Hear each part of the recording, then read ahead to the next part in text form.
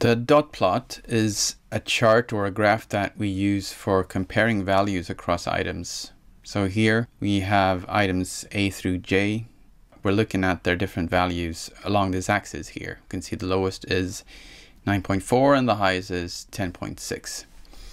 And in that way, it's similar to a bar graph, but in a bar graph, we always want to start at zero in order not to be deceptive in the way we visualize the data. And it means that the biggest part of this graph is used for a span of values where there's no difference between these different series or the, these different items. So everything from zero up to nine something is without variance across these items. But in the dot plot, since there's no beginning and no end of the dot, there's just a position, we can instead let the graph focus in on the span between the lowest value and the highest value and better focus and understand the differences between these items.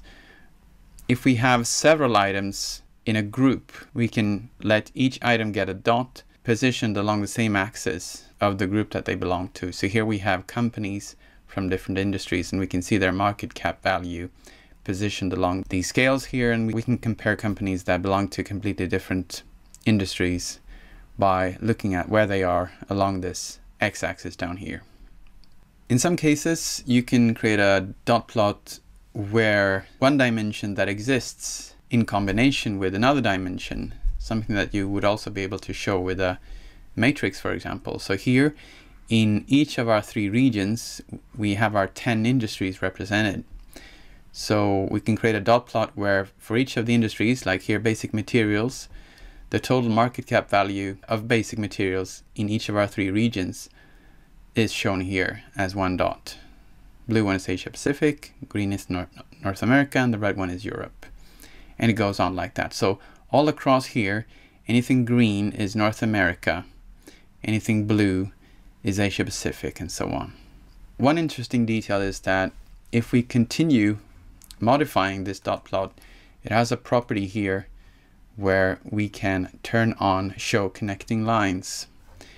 And as you can see when comparing to the chart below, that actually takes us to a result which is identical to what you get with the categorical line graph.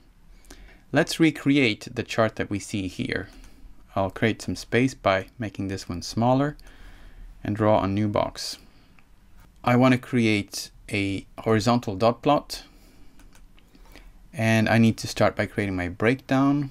I'm taking industries and then names and then I need to add something that we're gonna use on the x-axis. That's gonna be market cap. And then I want to color this by one week change. And one adjustment to the x-axis is that I want to use metric prefix. And at this point, these two should be identical and we've built a horizontal dot plot.